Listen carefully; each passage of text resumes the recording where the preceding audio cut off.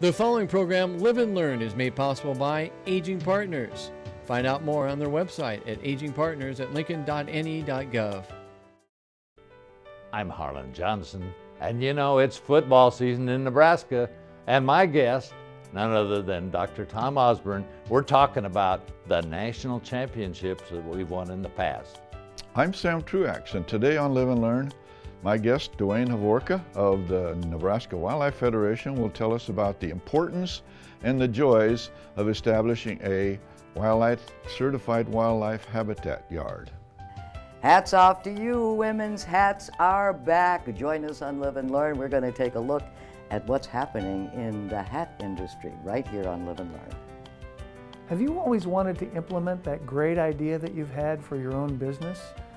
Well, Steve Boers from SCC's Entrepreneurship Center will be here today to tell you just how you can do that.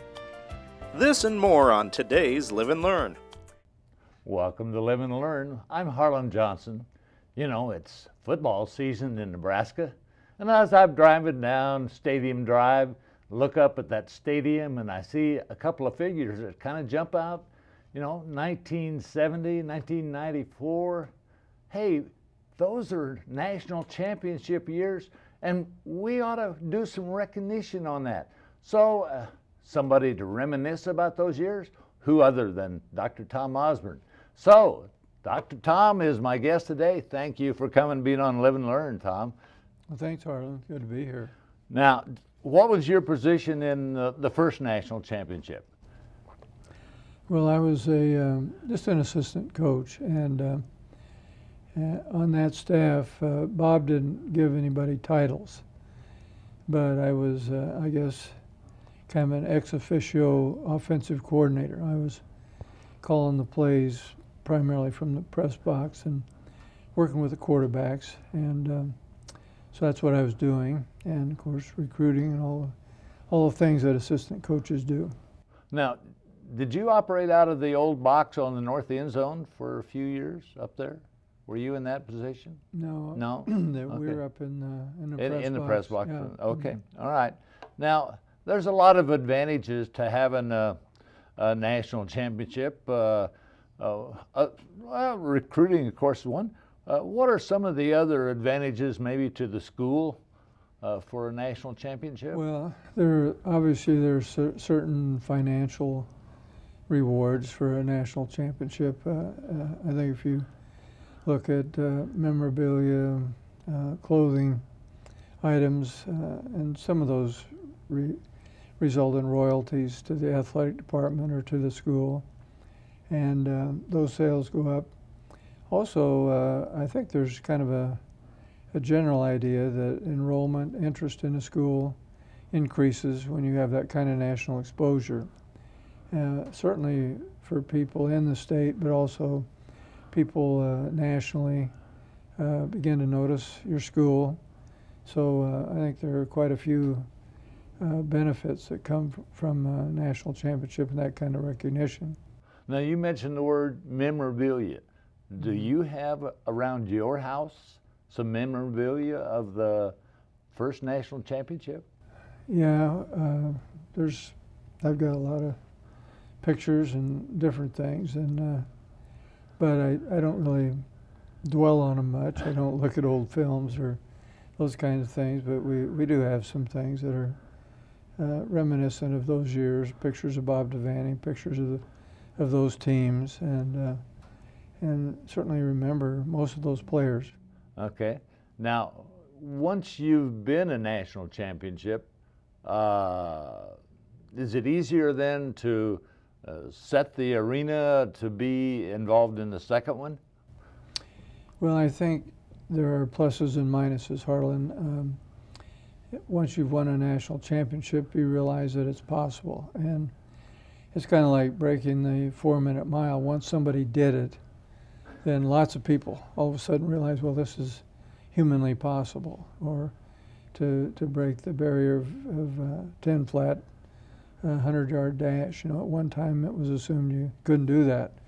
And once somebody did it, then everybody began to do it. And um, so your players developed the mentality, well, we did it last year, why not this year? And um, But on the other hand, the uh, the downside is that sometimes uh, the seeds of success also sow the seeds of decline because people begin to rest on their laurels sometimes. Sometimes people uh, become more absorbed with personal goals, personal achievement rather than team success. And uh, you see it in professional teams where uh, everybody has their own radio show, writes a book, um, makes public appearances, and uh, and they begin to lose track of the things that got them there. So it can go either way, but I, I would say generally having won one before uh, makes it a little bit more likely that you will in the future. Now, you reminded me when you talk about when, when somebody achieves that benchmark in terms of the four minute mile, et cetera, uh, you were kind of the guru of the psychology episode of telling the team in the in the 20 year ago uh, that you can do this and this is how it's going to be done and at the second half uh, they're going to be tired and there's going to be a big play and you implanted some seeds there uh, now uh, and, and, of course then psychologists uh, begin to be paid employees of, of uh, stadiums uh, encouraging uh, and telling players, you can do this, you can do it. Now, were you, your psychology background set the mm-hmm. ground for that? Well, um, I certainly felt that there is a strong connection between uh, the mental side of athletics and the physical. And uh, there's no, no question that that was important. We had a guy named Jack Stark who was um, a, had a PhD in psychology and Jack worked with our team and was very, very effective, I thought. And uh, so I think what you're alluding to is that at the halftime of the uh, of the Orange Bowl game, 1994, at the end of the '94 season, it was actually January '95. We were playing Miami, and uh, it wasn't that I was psychic. It wasn't that I had great uh, ability to predict what would happen, but I could see that there was a lot of uh, talking going on out on the field, particularly from the Miami players. I could also see that Miami players appear to be getting a little bit fatigued, which was kind of surprising because that was their environment, you know, high humidity, and we were coming from probably 15% humidity into 85, 90% humidity. And uh, but I thought we were wearing them down, and I also thought that there would be a strong likelihood that at some point some critical point in the second half that uh, somebody was going to get a personal foul because of all the conversation. And I just cautioned our players that they were when when things got heated, the first thing they would do is to drop their hands because you know the natural tendency when somebody pokes at you, you got your hands up and you poke back, and it's always the guy that punches back that gets called. And so I said, drop your hands, keep your mouth shut, and uh, I think that we'll be the beneficiary of a call that will be pretty instrumental. And in, in the second half, we did have one of those. And strangely enough, the guy that was involved was Christian Peter. And Christian would probably have been the person that was least likely on our team to drop his hands and walk away from an altercation. And um, so when he did that, and uh, we benefited from that penalty, that was a huge turning point in the game. Well, yes, uh, I, re I remember the, those incidents and uh, how Warren Sapp was uh, sucking air and that sort of thing. Now, are, th are there any really negative things that come out of a national championship? Well, the uh, the thing that happened, for instance, in '94, uh, we were a very positive story because we had won a uh, national championship in 20 years or something like that. And so it was kind of a feel-good season. And of course, Tommie Frazier was was injured and was out for most all of the year. And Brook Berringer took over, and then Tommy got healed up, and both of them played in the Orange Bowl. And um, so we were somewhat media favorites at that point. But once you're elevated to that point, then the next story often is, well, what's wrong with you? And uh, So we had a couple players that got out of line, Lawrence Phillips being one of them. And then the focus, of course, was well, uh, this is a, a, bad group of people, uh, you know, and uh, and so I think the um, the problem with winning a national championship and getting on the media radar makes you more vulnerable to negative consequences as well. So uh, uh, that's that's just part of the price you pay, and you hope that you can hold up uh, to that scrutiny. Now, as an average fan, I think back those names that you mentioned, uh, household uh, names in the sports arena anyway. You know, Cory Schlesinger and Tommy and Brook Berringer, Zach Wiegert. Uh, do you have contacts with those guys that come back and that sort of thing? You see them?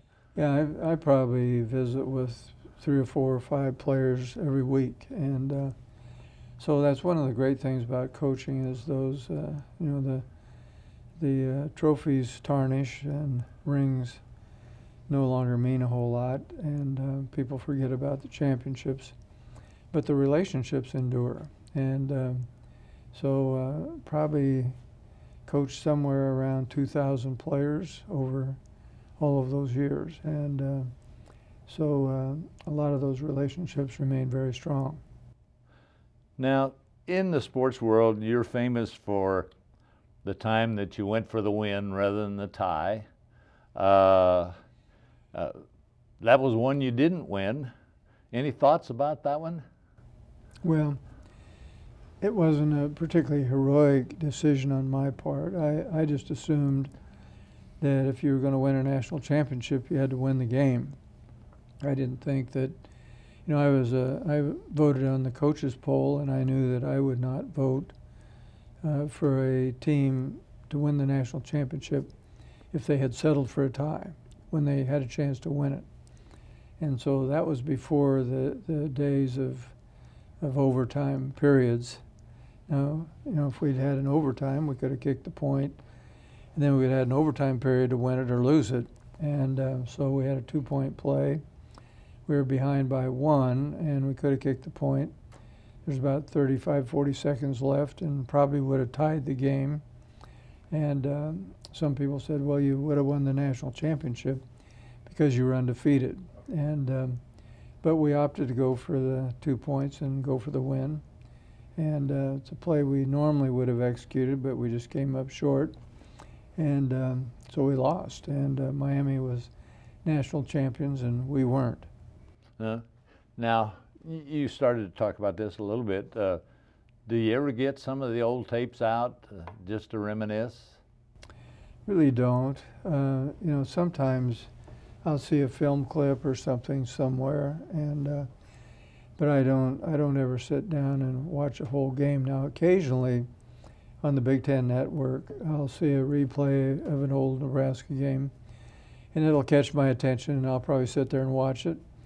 But I also look at a lot of replays of some other famous games that don't don't involve okay. Nebraska. Okay. So, but I don't I don't get out a CD or a tape and look at it uh, in its entirety.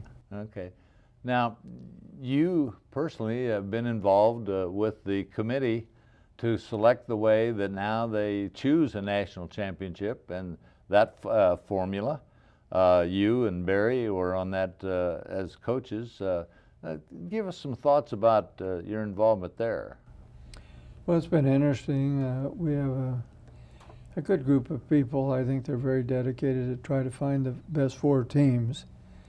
sometimes you'd think, well, there would be some uh, inclination to play favorites and, uh, and, to promote one team over another or one conference over another. And I didn't see that at all. I, I really felt that all the people on the committee were working very hard to try to find what, in their mind, was the, the best four teams, the strongest four teams. And so, um, fairly involved process. We, uh, we traveled to Dallas seven straight weeks. We'd fly down there on a Monday morning and meet Monday afternoon, Monday evening, Tuesday morning, do our uh, due diligence and balloting, and and then fly back home. But in the meantime, you'd watch a lot of films, watch a lot of games, and uh, study uh, statistics and all those kind of things. So it's a fairly sophisticated and fairly time-consuming process. And I think last year was December 6th that we had to make the final decision. And, um, and I thought that probably for the most part it worked out very well for the committee and for college football. Uh, there's a lot of pressure to expand to eight, an eight-team playoff or a 16 playoff, but I, as I see it, uh, the um, college presidents, the um, commissioners have decided it should be four, and I think it will stay at four for some time. Well, it uh, proved to be that your uh, judgment was very profound with the teams that you picked. I know across the country, a lot of people were saying Ohio, I don't know, but uh, mm-hmm. you proved to be uh, the wiser ones uh, and uh, very definitely to have the, the teams that should be there. Uh, now, are you involved again in, in this uh, process? Yeah, I, I told them I would sign up for two years, and so this will be my second and my last year. Okay. Well, Tom, a lot of good history here, and you brought a lot of very favorable moments uh, to sports fans across Nebraska, and of course, bringing a national championship uh, or uh, just uh, some of the rewards. Thank you for coming and being on the Live and Learn show and uh, talking about uh, your experiences of the national championship, which we begin to think about this time of year. And remember, it's never too late to live and learn.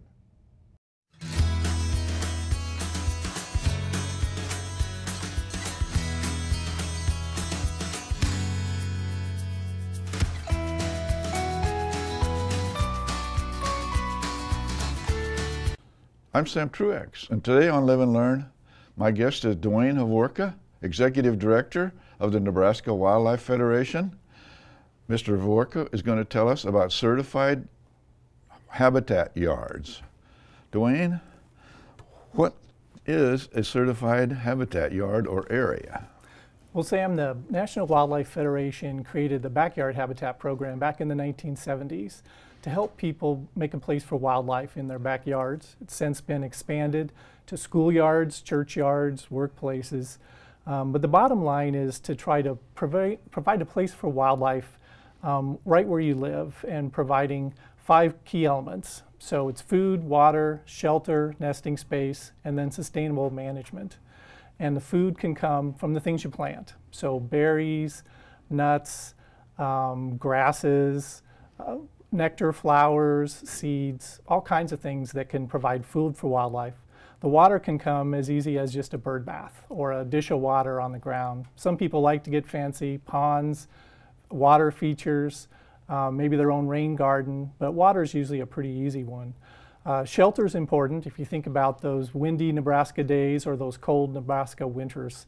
Um, trying to provide some shrubs um, that will provide protection. Evergreens are a good choice uh, because they'll provide protection well into the winter.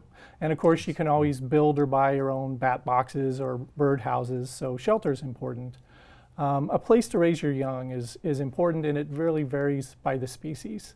So um, you think about butterflies. Some butterflies have specific host plants that they have to lay their eggs on. Um, amphibians like frogs and toads need some water at some point in order to lay their eggs so they can hatch. Um, so nesting space is really pretty important. You got birds that use different kinds of trees or there's ground nesting birds. Um, so that's really, you have to think about the species that you want to attract when you're thinking about nesting space. And finally, sustainable management. If you're going to try to encourage pollinators like bees and butterflies, um, on one hand, with the things you plant, you don't want to be using poisons like pesticides um, and killing them on the other hand. So we really encourage people to use organic gardening methods um, to use sustainable water methods, to use a lot of native plants because they're already well adapted to the area and the wildlife already adapted to them. Well, wouldn't we have to have a large amount of area in order for us to really be certified in this? Would the homeowner have to have a larger area than? You, you, you don't really. Um, there are some large acreages that are part of the program, even some farms in Nebraska.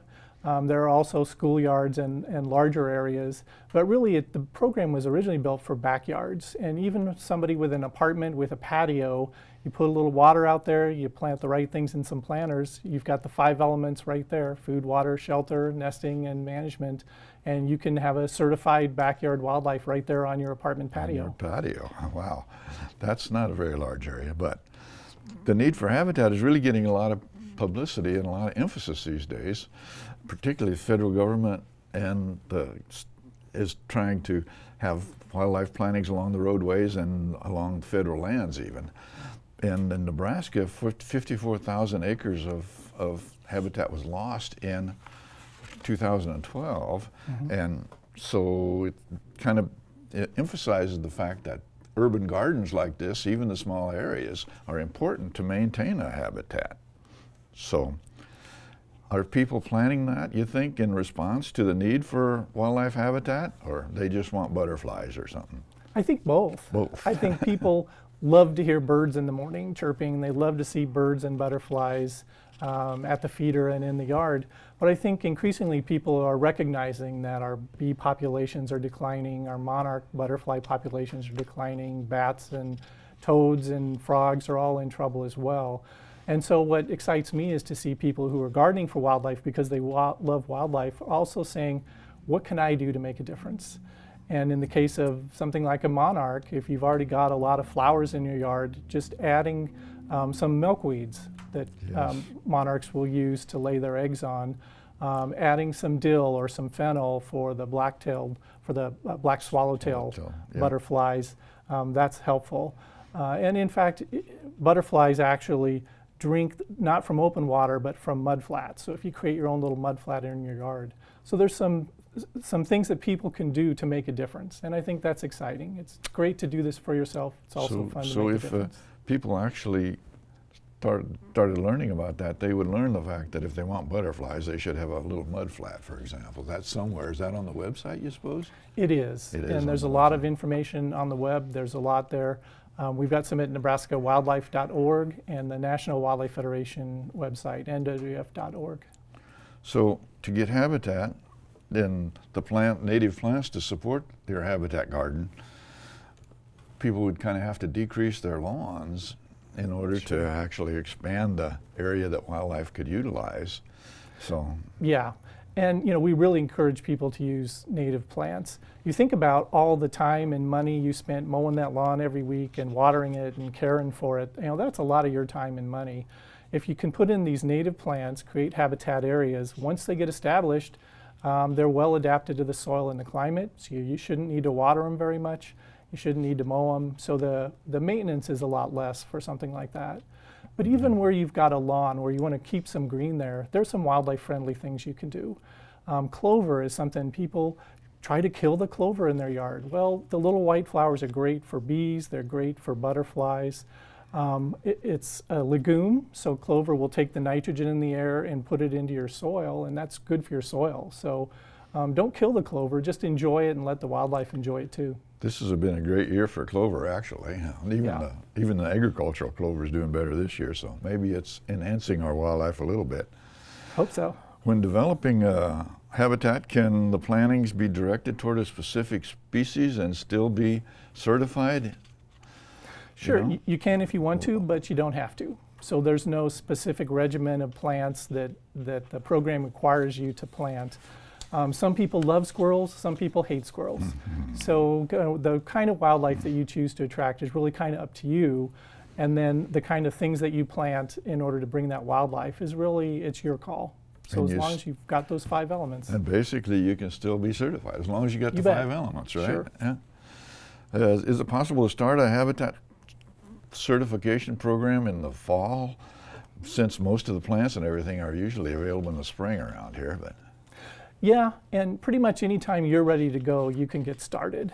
Uh, you think about the natural world, seeds drop, some of them in the late spring and through the summer and the fall. So Mother Nature's, you know, giving us seeds all year long. Um, so that's one way to start. There's also some native seed suppliers in Nebraska Yeah, and native plants. That's what they need. That's what people need to know that there are seed companies that provide that year There round. are. We've Yes. got them right here in Nebraska. And Yes. fall's a great time to get started, get your seed beds ready.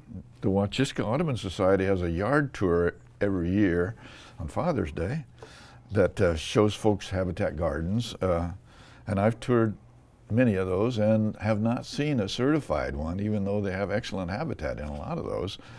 Are people in Nebraska actually certifying any of their yards?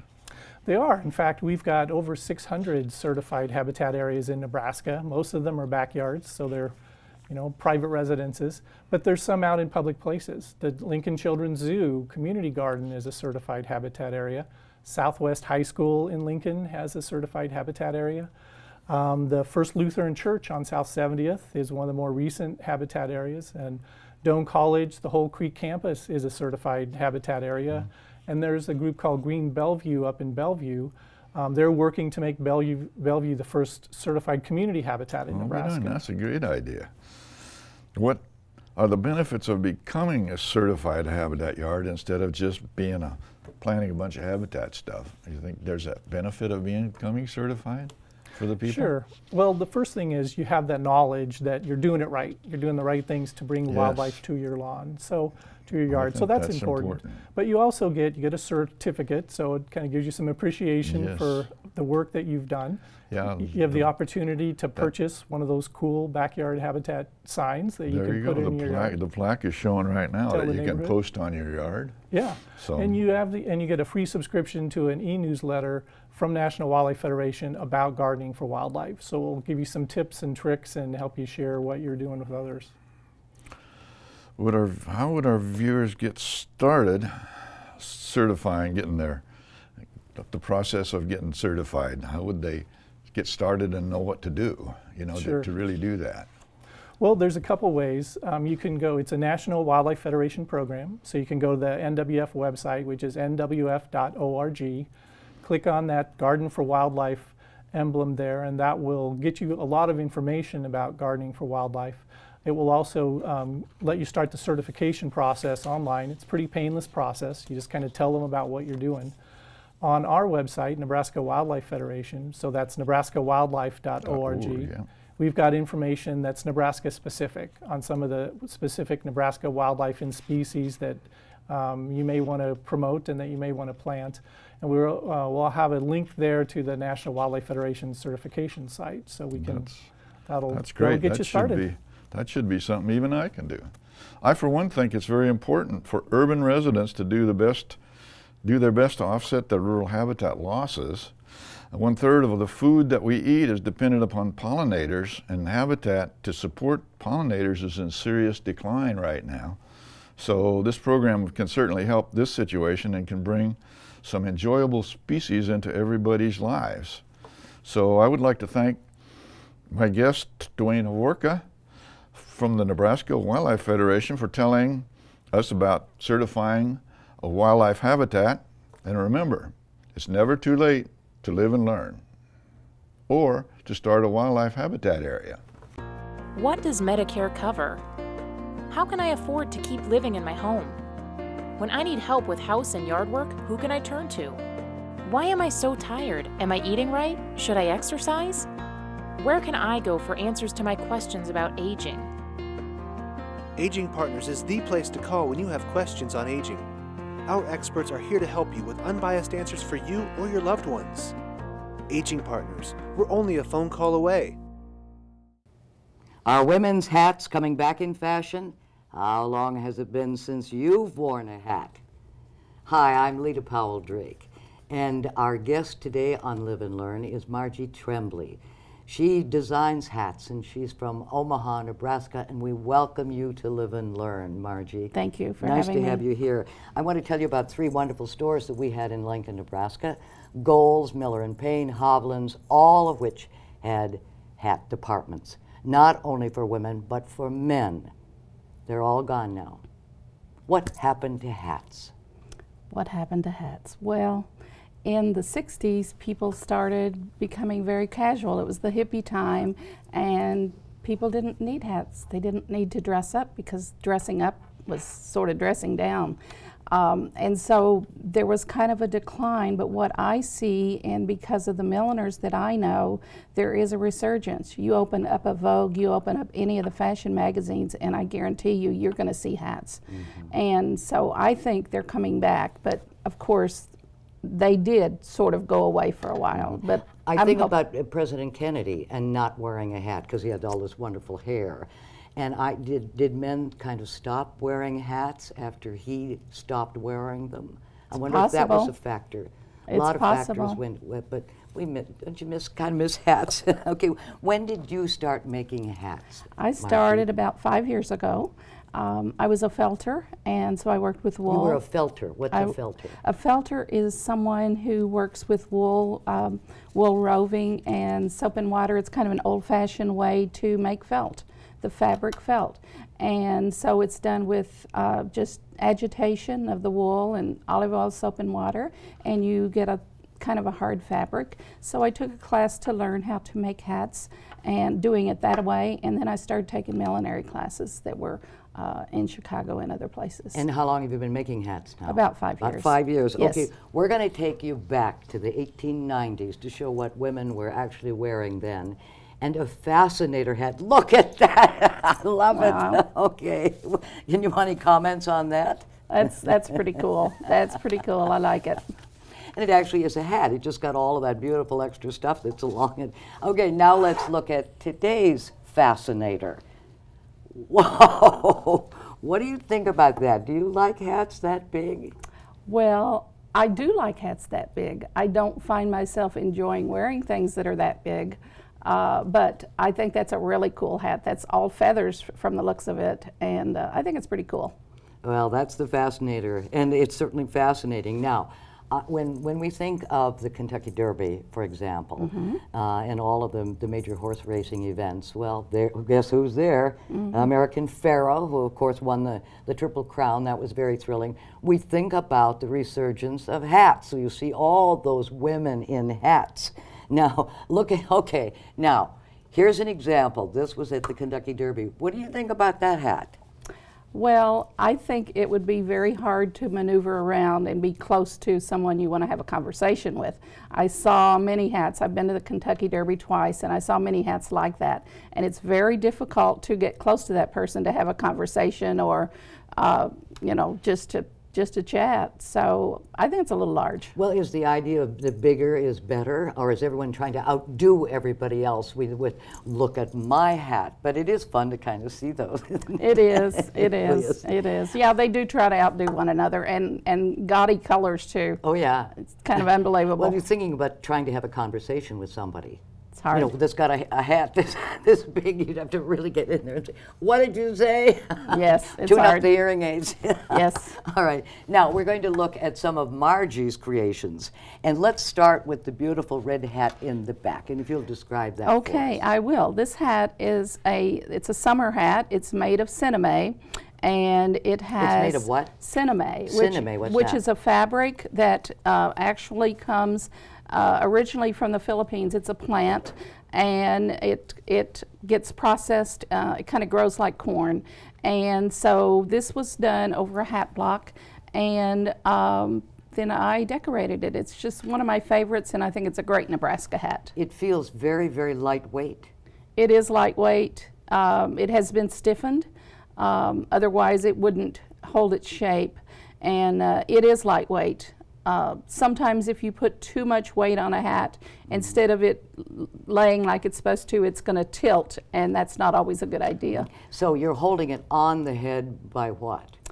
This particular one, I'm holding uh, by elastic. There's a little elastic cord that you use. There's about three or four different ways you can hold a hat on uh, hat combs, a combination of lots of different things. All right, now let's let's take a look at this one here. What, what describe this for us? Okay, this is a straw hat. It's also done over a hat block, and this is a silk uh, flower. And there's some very special netting that I've been able to find that this here that I love using. I just think it really uh, makes the hat be just kind of outstanding. And then we've got a little jewel piece there. Well, it seems quite a contrast between the very, very large hats and these small hats. Mhm. What, what's the difference and why? Well, um, it really depends on what you're going to, what you're, you know, where you're going to be wearing Oh, them. yeah. Um, at the Derby, for instance, a lot of the bigger hats are down um, in the area where people don't pay a lot for their tickets. A lot of the really nice, wonderful hats are smaller. Oh. So, you know, maybe someone who's famous might want to wear this more than they would want to wear that one. So, um, you know, it just really depends on the individual. Now, here is a more, I would call this a more modest hat. What, what, what do we call it? Do you call them anything or doesn't it matter anymore? Um, I don't have specific names for them. I, I have names for them, but I don't. I don't call them a certain thing. This actually, the block came from France, and um, it's this is a wonderful winter hat. Uh, this is made out of fur, uh, out of velour felt, and it has a dichroic glass uh, decoration piece that my husband made. Um, and it's. So just he helps you. Well, Husbands a are little nice to bit. have around sometime. They are, they are, they are. I just needed something, and I said, "Make me something." So he he did that little piece as an accent. Okay, now we want to take a look at the hat that you're wearing on your head. If we can ho- hold it so we can take a nice picture of that so we can see it now. What that looks to me, now I don't know what I'm talking about, but that looks like a fascinator hat to me. Is that, would you call that a fascinator hat? I probably would not call this a fascinator. Well, it's Um, fascinating. Well, it is. It is. A fascinator is a hat that's to be worn on the forehead. So it's Oh. a decoration for the forehead. Although this is decorating my forehead, but Uh-huh. a fascinator is a decoration for the forehead. Um, this I would call this a small picture hat. This is made out of hemp braid and I wove all the pieces and actually this particular one I did in a class. I took a class from a girl from the Netherlands and she taught us how to do this. And so I, I kind of call it Eugenie's hat because that's her name and she, she taught me how to do this. Well, even, as, even though it's large, it looks very lightweight. It is. It So is very How do you attach it or fix it to your head? This particular one has a hat inside the hat. So there's a small, Oh. a little small hat underneath this Ah. that is shaped like a hat, like just a little beanie. And then uh, this one, I have the elastic and I've also used bobby pins to hold it down. But So it is very lightweight. Yeah, it's not going to fall off. You don't feel uncomfortable or insecure. It's Yeah. not going anywhere. and it's easy to travel with because this one I just I just kind of fold it up and it lays flat and it's it's very easy to travel with. Now, here's another one that probably looks a little familiar to us because this is Nebraska. and uh, well, what, what do you call this? This actually is a fur felt hat, and it is. Um, and then I did the leather. I dyed the leather, and uh, you know, it, you the, could the leather band. the leather band. yeah. Yes, and this is actually uh, fur fur felt uh, is the is what it's called. And uh, these hats are a lot more expensive than others because the materials that you make them out of are a lot more expensive. So, uh, and what, do, what do you hat. call this again? I mean, I, I'd call it a safari hat. Of I would call it a safari Oh. hat too. That's a great name. That's a great name. Yes. All right, now let's take a look at this again. A smaller hat. Yes. This I- Describe this one for us. This we could call this a fascinator. Um, it is also a sinamay hat, and uh, it was made on a hat block that had this little indentation. So when I I actually I steam the sinamay over a hat block, and lots of other things that I have to do to make it where it's going to be comfortable for the wearer. But um, nice little accent of feathers and a little little pin. This could be worn anywhere. This could be dress up or dress down. It doesn't really Does matter. it matter the size of your head? In other words, some people have larger heads and smaller heads. So where would you wear it? I call this a very, very small hat. Would that look funny on someone with a big head? It really wouldn't. It really wouldn't. This this one would fit anyone. Um, a hat like this, this particular one, or a hat, so, a hat like this. A lot of hats like this, you you actually have to measure the head. And I actually had I actually uh, made a hat for someone who had a 26 inch um, around. Oh, oh. size. Head? And, yes. A 26 inch head, not a waist? Head. and actually, 22 and a half is average. So. Um, Our heads are that big? I never are. thought about you that. You also have to think about hair because that does affect things too. Now let's take a look at some of Margie's other creations. They are fascinating. Now this one is, uh, is a white veil on it. Would you describe this one, Margie? Yes, uh, this hat is um, made out of all kinds of interesting things. It actually is made out of cotton batting, if you can believe that. Uh, and then it's put on a base and lined, and a lot of frou-frou, some really wonderful uh, pheasant feathers that are unique, and uh, it's just it's just a fantastic hat. It's it stays in my collection. And here's another one. Now I love the color of this. Uh, this is lavender. Is that what you're yes. looking at? That hat matching her outfit. Describe yes. that one. Okay, this hat actually was worn in Fashion Week, uh, and that's lovely Jennifer. Jennifer, and that's made out of sinamay. Uh, it is formed over a hat block, and it has matching uh, swirly things and uh, peacock feathers that were dyed, and it's just again another favorite smashing. and you even make hats for children. I do, I do. Uh, these are two darling twins from Omaha, and actually, one of the hats, uh, the girl in the dark coat, that actually was bought by a lady, uh, and she wore it to a wedding in Ireland, but the others are for children, and I have a great time with that. Beautiful work, Margie. Thank you. Omaha has a fashion week, and uh, your, your hats were featured and we have a picture of the model on the runway in uh, Omaha Fashion Week. And we take a look at that? There, oh yeah, look at that. Mm -hmm. look at that hat and the outfit. I like to explain that one to us. Well, this this is uh, the first time that my hats were on in Omaha Fashion Week on the runway, and this is just a very huge, huge hat. Um, and it got a lot of press because it is, it really is, it really does stand out. And, and it was the first thing that came out, and it was the, it was on the front page of the newspaper and everything. But it, it's it it looked gorgeous on the model, and down the front, what you cannot see is uh, some metal. Uh, chain and it, and oh. so that kind of made it really cool. Oh, that's outstanding. I bet yeah. that got a lot of attention. It did. The hat boxes were so convenient for carrying these things. Mm -hmm. Mm-hmm. and uh, now this is this is for carrying the little one, but are they still making the great big hat boxes? They're very very hard to find. Um, I recently had some made for me, and there's only like a couple places in the U.S. that actually make them. These actually were made in New Hampshire. Uh, and it was uh, specially made. This is out of fabric. I've got others that are 24 inches is the biggest I have, and uh, they are they made they have paper, but uh, paper lining, but they're they're kind of hard to come by.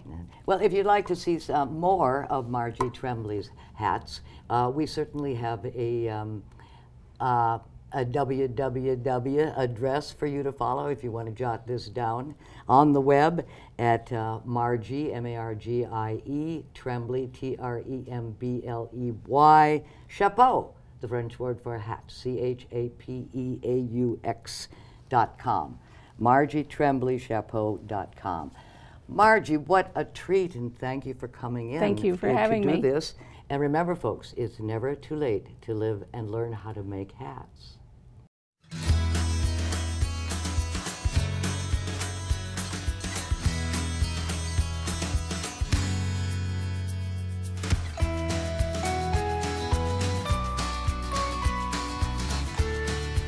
I'm Tom White, and my guest today is Steve Boers from the Entrepreneurship Center. He's the director of the Entrepreneurship Center at Southeast Community College. Welcome, Steve. Glad you're here today. Thank you, Tom. I appreciate the opportunity. So, can you tell us a little bit about the Entrepreneurship Center? Yes, it was started 10 years ago. We'll have our 10 year anniversary in February.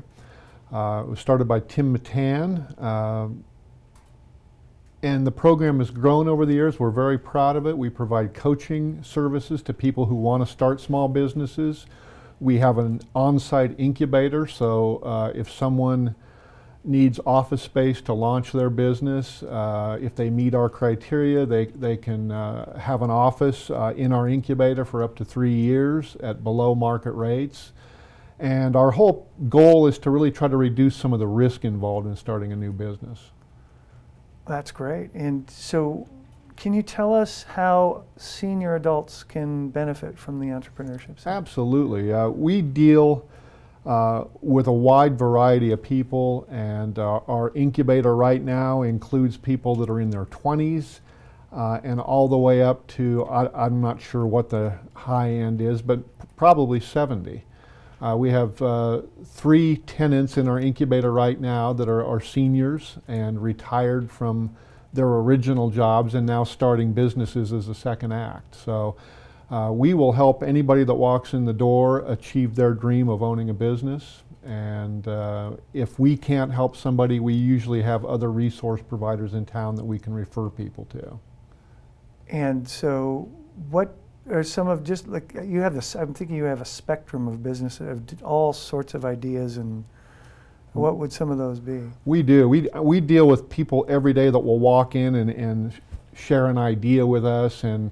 Our first step is to really get them to research that idea to make sure that there's going to be a demand for their product or service because that's the number one reason businesses fail is because there is not a demand for the product or service that's being provided. Mm. So we really try to get people uh, to consider that very carefully. Uh, and in our incubator right now, we have a wide variety of businesses. We have a uh, two gentlemen who have a business. They're importing energy drinks from Croatia. Uh, we have um, a business started by a senior uh, called Bridge to Better Living. That business is in, has been incredibly successful so far. They will they meet with seniors who are considering a, a change in residence and perhaps moving to a, a retirement community or assisted living. Uh, they'll interview them uh, extensively to find out their needs, their budget, uh, all kinds of things, uh, their health needs. and then they'll recommend um, a place in Lancaster County that would be the best fit for them. And that's a free service to the senior. Uh, and so that business is very vibrant, and they have recently opened an Omaha office. So we're very proud of them. So, and um, tell us about the Thursday coffee. Yes, we have a, a Thursday coffee at 10 o'clock uh, each Thursday. It's open to the public and whoever wants to attend. So it's a great opportunity to come to the, the Entrepreneurship Center, meet other entrepreneurs, uh, meet resource providers that work with entrepreneurs, people like uh, attorneys, CPAs, um, advertising people. Um, we have a sponsor every week that will speak for 15 to 20 minutes, and then we open it up to questions, and then we just have general networking. And we have people hanging around sometimes for two hours after the coffee, networking, talking, uh, discussing business, uh, making referrals to one another, so forth. So if anybody has an interest in starting a business, that'd be a great first step. Come to one of our coffees, you can see our facility, uh, and you can meet uh, some of our staff members. I understand you have a couple of events coming up that would appeal to broad spectrum of people, but there's one in particular that's geared towards seniors. yes. On November, I'm going to have to put my reading glasses on here, but on November 5th, uh, we're participating in, a, in an event uh, sponsored by the Small Business Administration and ARP, AARP. Uh, it's on Thursday, November 5th from 4.30 to 6.30. Uh, it will be at the Country Inn Suites on North 27th. Uh, and the name of the event is Speed Mentoring and Resource Fair. So there's going to be a number of resource providers uh, from southeast Nebraska at this event. Uh, they're all dedicated to helping people start businesses, and this particular event is targeted at seniors in particular. So um, uh, there's even a light meal included, and if people are interested, they can uh, look it up on the web at events.sba.gov. So uh, I would really urge that. Uh, it's a great event, it's free, and there'll be all kinds of great information there for people that want to start a business. And you, then there was another event that had to do with creati creativity and yes. art. On October 2nd at the Entrepreneurship Center at, at 2, uh, 2 o'clock to 3.30, there's a free event called The Business of Art. And it's designed for people who uh, are, have artistic uh, passions and they want to turn that artistic passion into a revenue flow. So we help, will help people uh, turn their uh, art passion into a business. And, and we've seen a lot of, uh, a lot of interest in that event so far. And so you had mentioned one uh, senior that's in your incubator center, but you had told me there were a couple of others yes, at least um, in the incubator. I mentioned Bridge to Better Living. That's owned by Marianne Stallings, mm -hmm. um, and that business has done very well. Uh, we have uh, Mr. James Terry in our incubator. Uh, James has a business uh, called uh, Jazz Time Smooth Radio, and it's an internet radio station featuring smooth jazz, and he also books jazz musicians for special events. And I had the opportunity to go to one of James's uh, events uh, about a month ago, and it was first class, really great, and the musician was terrific. Uh, so he does a real nice job with that business. And then we also have two gentlemen that started an insurance agency in our incubator called uh, ABC Insurance, and they specialize in long-term care policies, Medicare supplements, that sort of thing. Yeah. Um, so those are three of the businesses that we work with right now that are owned by seniors. Is there any additional information? Because I, I think there are probably a lot of people who have been working in some job their whole life and have always had this idea of something that they were sure and they're passionate about. Mm. But as you said earlier, does that translate into something that the public wants or needs? Yes. And so for those who what's the determination of that? How do you?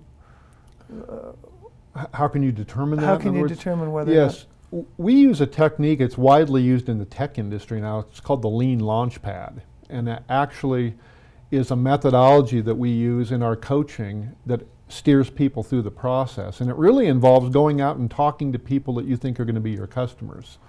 Uh, the worst people to ask for business advice uh, or whether you have a good idea are friends and relatives.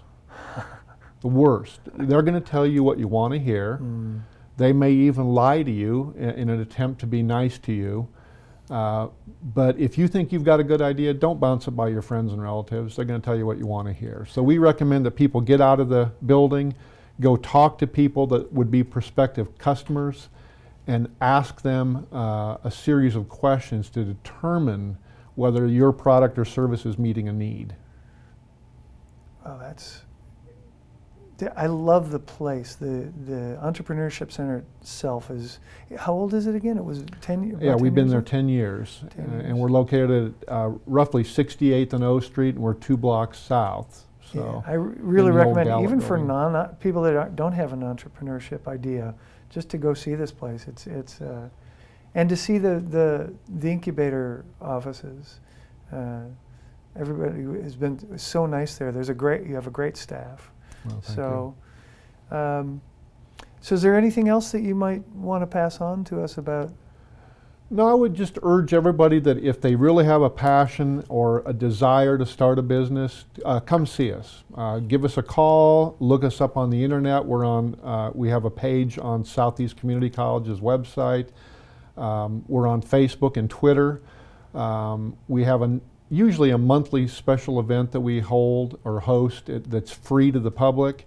And so if you want to look into what it takes to start a small business, let us know. We, we've got staff that's trained uh, to help people start businesses so that we're there to help. And we, would, we love doing it. it it's, it's our passion. Well, Steve, thank you so much uh, my guest today has been Steve Boers, who is the director of the Entrepreneurship Center at Southeast Community College. My name's Tom White, and remember, it's never too late to live and learn.